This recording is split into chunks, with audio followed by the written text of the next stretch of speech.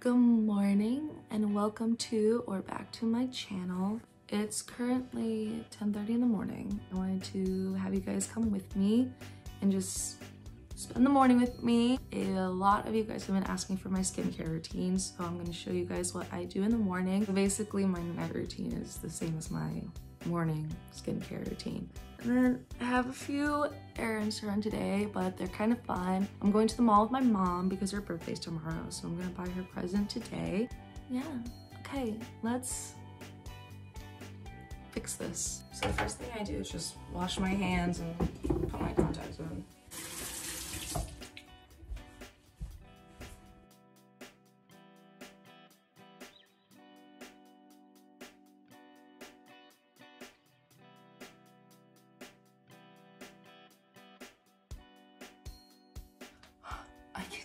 See and I'm crying. Okay, out of the face. So the first thing I use, e.l.f. exfoliating scrub and it has vitamin E in it. E. You really don't need a lot. Like what I like about it is how gentle of an exfoliator it is. I probably exfoliate my face maybe three times a week. I don't really want to be too rough with my skin. My problem areas with acne are like here and my chin. I do have hormonal acne. So I don't really break out that much. It's mostly around when I have my period. and I'll usually just get like one or something like that. Yeah, they pop up a lot. That's that's the problem. So I'm not gonna dry my face um, just because I'm gonna put something else on it. And it is by The Ordinary. I think I mentioned this in one of my first videos.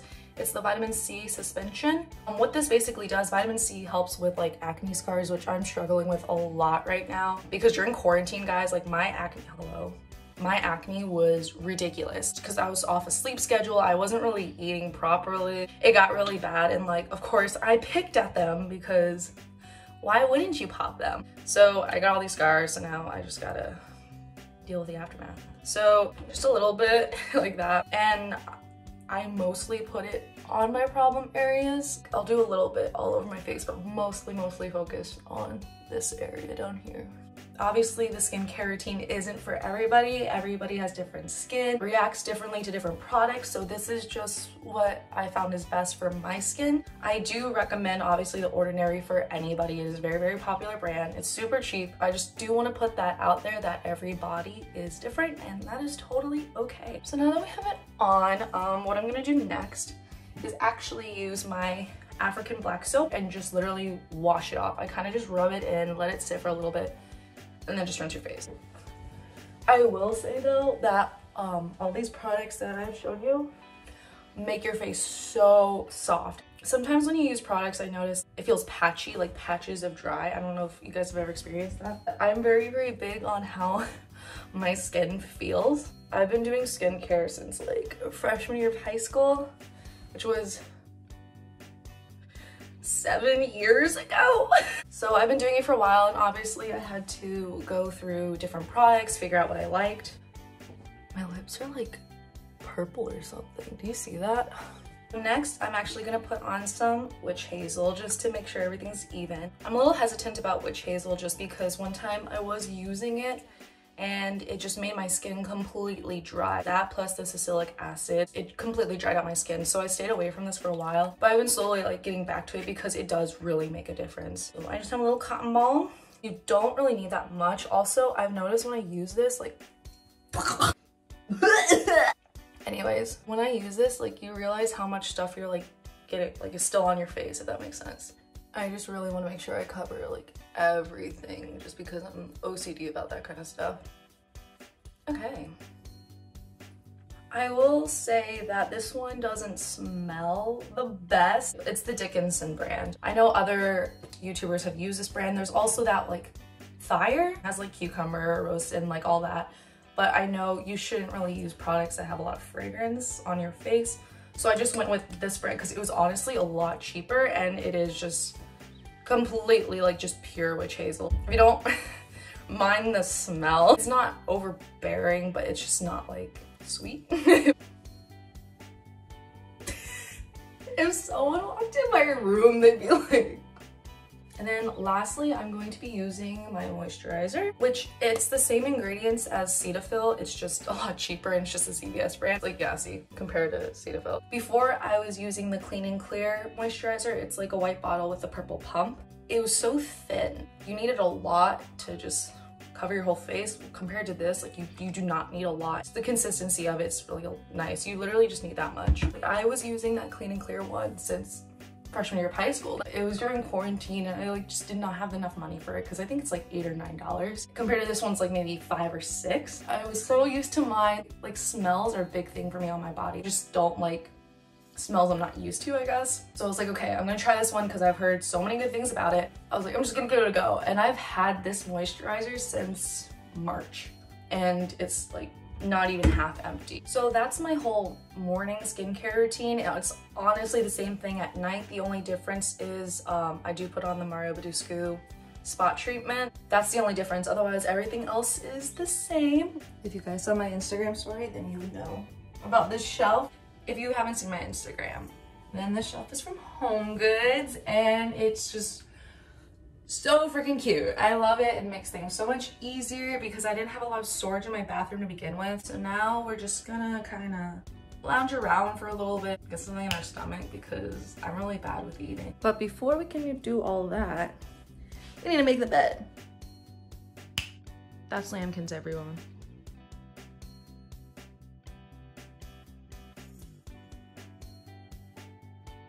So now that I have my coffee, I'm just gonna go upstairs and no, I should probably eat something. I'm not a big breakfast person. I don't really like breakfast foods and I don't like eating in the morning. That's so bad. Okay, so I've been waiting to show you guys this because I don't know, I think it's so cool. My house kind of like splits like two stairs so one goes down one goes up so the upstairs is mine this is my living room and my bedroom's right through there um i'll give you guys a tour one day like more in detail here's like my desk area and like some storage and stuff that's the front door I need to clean it a bit, but that's about it. My bedroom, my own bath over there where we got ready and stuff. So let's watch some TV and drink our coffee. What should we watch? Last night, actually, I was binging Reign. Has anyone seen that? Yes, Queen Mary. Let's go. Guys, comment some shows or movies that I should watch on Netflix below. Like, I really want to start watching new shows. Fun fact, I've never seen The Office before. Um, he's showing it to me. We're on season six. I don't want to spoil anything in case like anybody hasn't seen it, but I'm gonna just say the last episode we saw was uh, Scott's Tots. Grey's Anatomy, of course, love Grey's Anatomy. I'm haven't seen any of season 16 yet. I rewatch that sometimes, guys. I rewatched Derek's accident the other day because I felt like crying. Do you guys ever do that? Like, do you watch something to make yourself cry? Is that healthy? okay guys, we're back in the bathroom and I think, hello? That's where, that's where it wants to part. I just let it, I don't argue. I'm thinking I might straighten my hair today. I don't usually use heat on my hair but I'm kind of feeling it today. I don't know, it might be like a little different. I try to refrain from using heat on my hair just because there is bleach under this brown color and I just don't want to cause more damage than it's like already done. Should I do it? I shouldn't do it. I'm gonna do it, aren't I? Let's brush it out first and see where we are. So just quickly, I just wanted to go over this with you guys. I don't blow dry my hair just because it, it gets so poofy. It just takes like 45 minutes to completely dry it. So I usually just towel dry and then let it air dry. But I found this, it's the Smooth Air Dry Anti-Freeze, Anti-Freeze, Anti-Frizz Cream. And when it's wet, just put this over it and it controls the frizz so, so much. This is my day after hair. It kind of like has this like weird wavy texture naturally. I put that on after I shower. And then the next morning, I try to put in some kind of oil or something. I have this leave-in spray. It's Argan Magic. It's a 10-in-1 treatment. I think, yeah, I got it at Marshall's. I'm just gonna brush my hair and put this in and kind of see where it's at. Are you guys ready for this? You ready to hear my hair? Yes. So I skipped brushing my hair because I didn't want you guys to suffer with me through that. It's all brushed, we good now. Just gonna add in that argan oil. Oh my gosh, it just spilled everywhere. So apparently like the little thing isn't working, so I'm just putting in my hands. I don't want too, too much because obviously you don't want your hair oily and stuff. I mostly stick to just like the ends because that's where obviously it's the most dry and dead.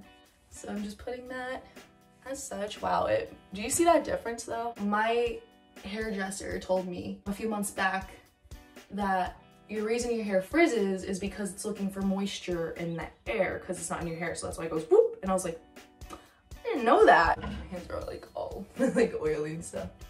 So now we're gonna brush through it. Hopefully it doesn't make disgusting noises. That was a lot better. Wow. Well, I think I'm gonna let that sit for a second. Sometimes if I just want my natural hair to be more defined, I'll just put my hair in a braid and like, since it's still damp plus that argan oil, it will hold that shape, if that makes sense. Okay, so we got a little braid going on here, super cute. Um, that's my hair care and my skincare routine. Since we're just going to the mall, I'm not gonna wear too much makeup. I'm honestly just gonna put on some mascara and do my eyebrows. As you guys know, I don't really like wearing makeup unless it's actually for something.